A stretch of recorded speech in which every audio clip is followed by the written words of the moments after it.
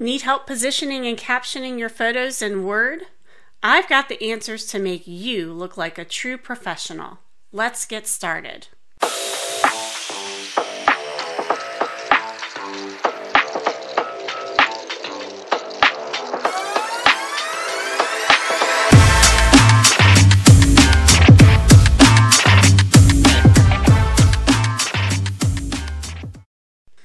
Let's just talk about how to add a photo and resize it.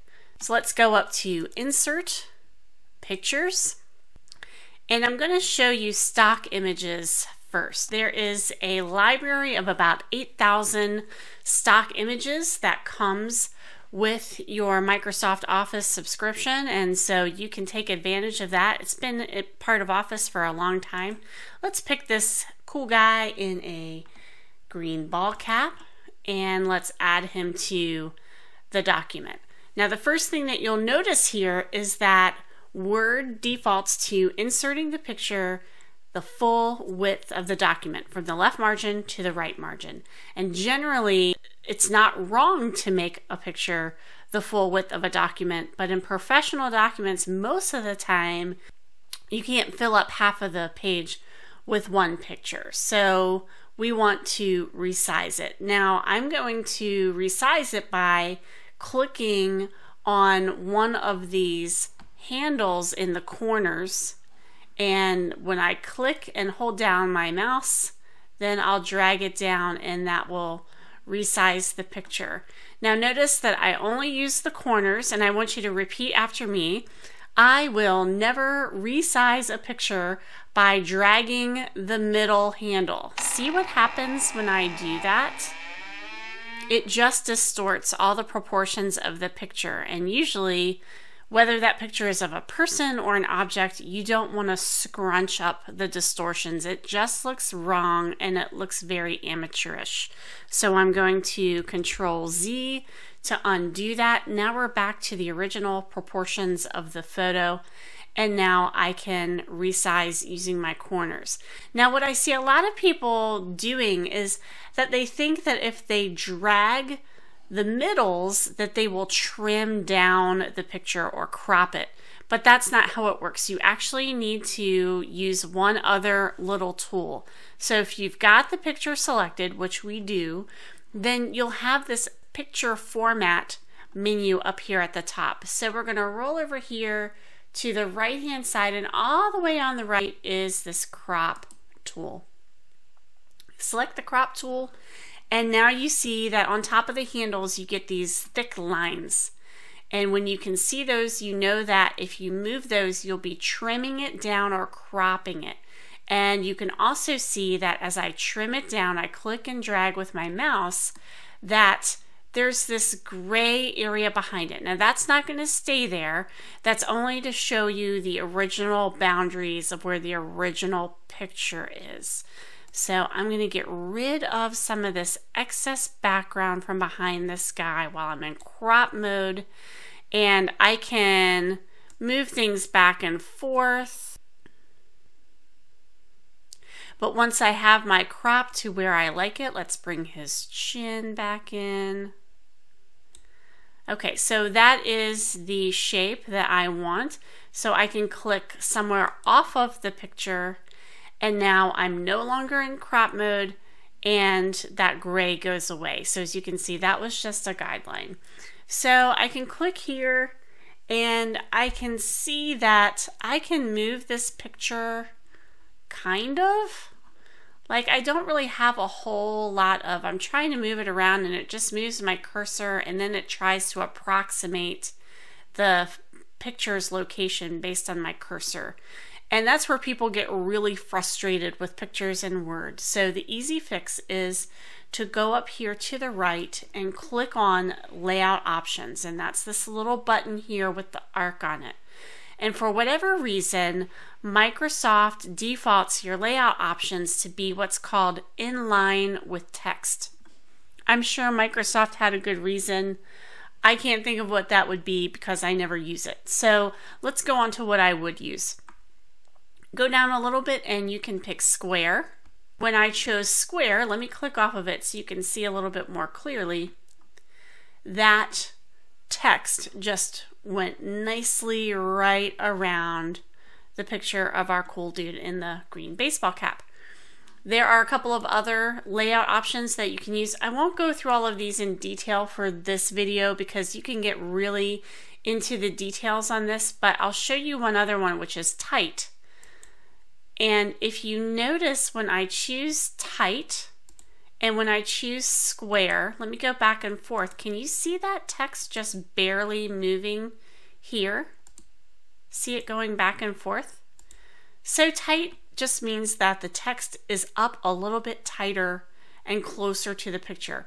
My personal preference is that I like to have a little bit of breathing room there. And another thing that you can get into a little bit more detail on is you can actually control the amount of space around this picture if you wanted to. But usually these defaults work fine for me. Okay, so now we have resized the picture, we've cropped the picture, and we have turned on text wrapping, and that looks really nice. One other thing that you can do is if you have an exact proportion or an exact measurement that you want to set for this picture, then I just right clicked to get this context menu and you go down to size and position and you can set an absolute size. So you can set the height and you can set the exact width. So let's say that I only want this picture to be three inches, and that is the measurement on the printed page, by the way. So this is a standard eight and a half by 11 page that I'm working on right now, and I want this picture to be three inches wide. And when I change that, notice that it changes all of the other measurements to be proportional unless you specifically tell it not to, which in general you won't do that. So we'll say okay. And there you go. Now he is exactly three inches wide. All right, now let's add a nice caption. So to add a caption, you can go to the References tab, which is a little bit hard to remember, uh, but a caption really is a kind of reference, and it's part of that grouping because you can actually, in your table of contents, you can add tables of figures or tables of photos. And so it keeps track of your captions so that it can add those later in a table of contents if you wanted to add those. So that's why it's grouped here. But if you can't remember, then another way that you can access it is just to right click and go to insert caption and it works the same way. Now we come into the caption dialog and you can see that Word automatically starts the caption label for you as figure one. And there's a lot of things that you can customize here. So I'm going to show you all of those. But first, let's set the caption. So I'm going to put a colon. And whether you put a colon or whether you put a dash, that's a matter of personal preference or maybe your corporate style sheet, uh, whatever your standards are. So you put whatever punctuation that you want to put there. And then here's a pro tip make sure that your caption says something about the photo that isn't immediately obvious to the reader. So if I caption this man in ball cap, then yes, that caption is accurate, but it really doesn't say anything about why this picture is in the document and why the reader should care about it. So instead, let's make a caption that would explain why he's here. And I'm going to say that maybe this is a sales report. And so we're going to say that Ball Caps Inc. sold 300,000 of these green ball caps in fiscal year 2021. So that is a compelling caption, and that helps the reader make a connection between what's in the picture and what might be in the text around it. So if I say okay, then what Word does is it puts a nice text box. It automatically sizes that text box to the exact width of the picture. It chooses a default caption font, which you can modify in your styles. And we have other videos in Young Career Pros that talk about styles. So you can modify and control all of those things, but it looks really nice and it also adopts the same word wrap of the picture itself. Because we have square selected, then the caption is wrapped in square as well. You can also change the numbering. So instead of one, two, three, you can do ABCs, you can do Roman numerals, lowercase and uppercase. So I'll just change this to A. And you can see that it changes the caption to report pick A. You can also include the chapter number. So I have a whole other video about how to do chapter numbers and how to do hierarchical outline numbering for your sections in your Word document. So check out that video if you want to know more about chapter numbering. But you can tick this box and you can include the chapter number, and then that would change that caption to 1A. So let's say OK. And it actually replaced the caption that we had. So photos generally just have one caption, and Word is smart enough to do that for you. And it also chose the right number and started it with one. So there is your nice caption.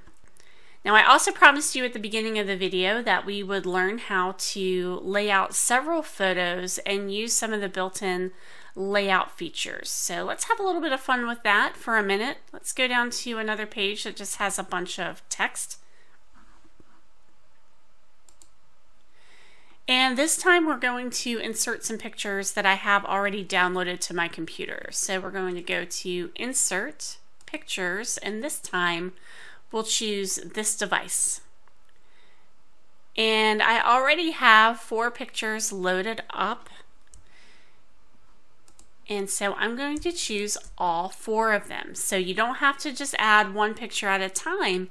You can add as many as you want and Word will put them in. But just be aware that when it puts them in, they're going to be giant. They're going to be the full width and you're going to have to do a little bit of work to be able to fit them all on a page. So for these four, I'd like to make them into one nice graphic and I say something about each one of these pictures in that one graphic. So that's where we're headed.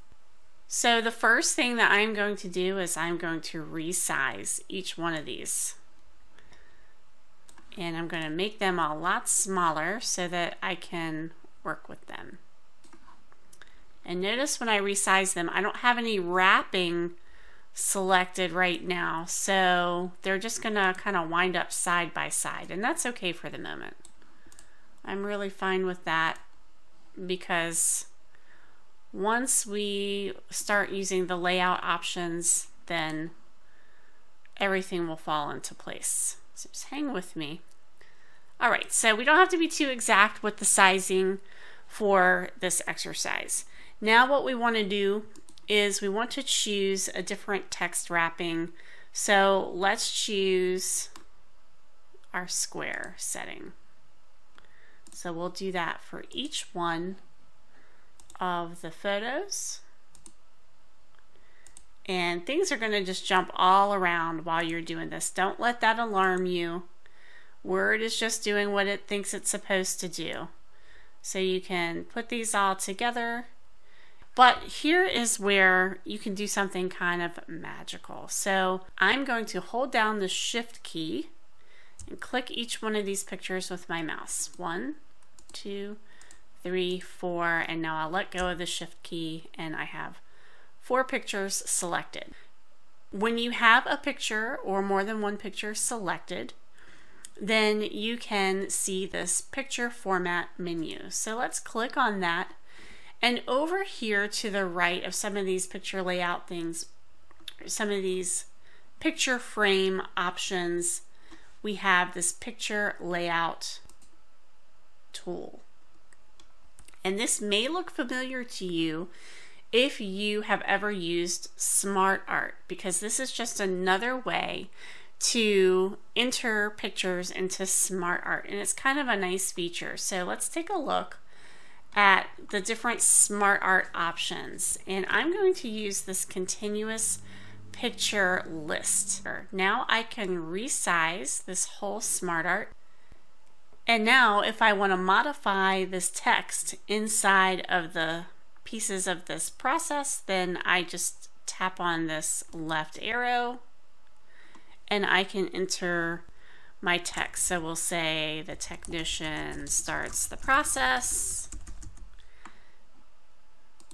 and the capacitors are installed.